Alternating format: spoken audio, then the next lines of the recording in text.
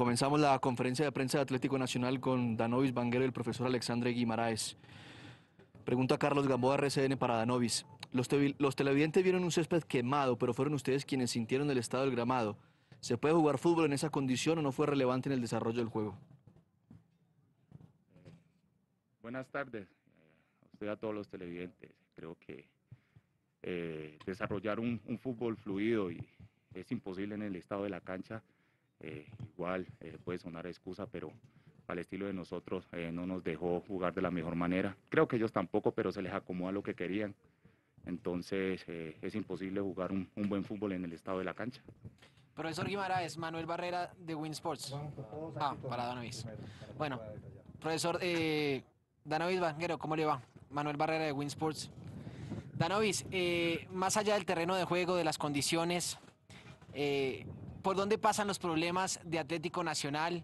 Aunque se veo a un Nacional en el segundo tiempo muy diferente al de la primera parte. ¿Por qué cambia tanto Atlético Nacional eh, en esa primera parte al, periodo complementario? buenas tardes. Yo creo que es normal, un terreno desconocido, siempre entra uno con sus precauciones, mirar eh, yo creo que vos que estás aquí sabes de la condición del terreno de juego. Eh, como te digo, no, no, no es buscando una excusa, pero para ambos equipos eh, el primer tiempo fue como conociendo el terreno, cómo picaba el balón, dónde pisar, en qué hueco no caer. Entonces ya en el segundo tiempo se suelta un poco más, ya uno empieza a acostumbrarse al terreno de juego y podemos desarrollar un mejor fútbol. De pronto los problemas, no lo llamo yo así, problemas, estamos en, en, un equipo de construcción, lo digo yo, acabo de llegar al proyecto a sumarme junto al profe y creo yo que, estamos sumando, estamos mejorando eh, partido a partido y, queremos seguir de esa manera para, consolidar el equipo.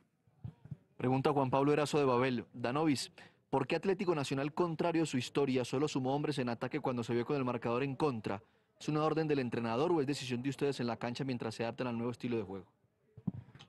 Como, como acabé de mencionar, eh, eh, hoy era imposible buscar arriesgar con buen juego, con salida de laterales con apoyo sobre el ataque cuando la cancha no te lo permite. Vas a tirar una pared, no sabes en, eh, dónde te va a caer el balón, si pica, si se va, eh, en qué hueco va a caer el balón, entonces se, se, hizo un poco complicado. Por ahí ya con el resultado en contra toca que arriesgar de cualquier manera, como dice uno, eh, no era la intención pues no sumar tanta gente al ataque, pero pues la cancha y, el rival también hace, juega un papel importante y yo creo que por eso se vio ese partido así. Terminamos con Danovis Manguera, ahora las preguntas son para el profesor.